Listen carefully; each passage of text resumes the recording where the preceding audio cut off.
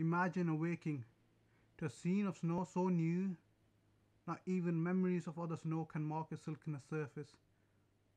What other innocent is quite like this? And who can blame me for refusing to violate such whiteness with the booted cruelty of tracks? Though I cannot leave this house, I have memorized the view from every window.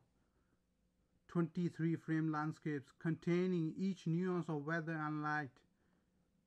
I know the measure of every room, not as a prisoner pacing a cell, but as an embryo knows the walls of the womb, free to swim as the body tells it to, to nudge the softly fleshed walls, dreading only the moment of contraction when it will be forcing the gaudy world.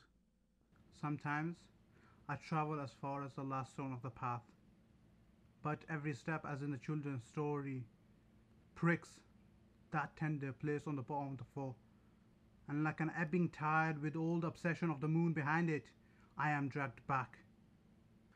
I have noticed in windy fall how leaves are torn from the trees, each leaf waving goodbye to the oak or the poplar the house lit, how the moon, pinned to the very centre of the window, is like a moth wanting only to break in.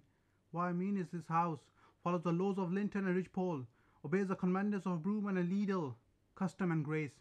It is not fear that holds me here, but passion and the crucible moat of moonlight outside the bolted doors.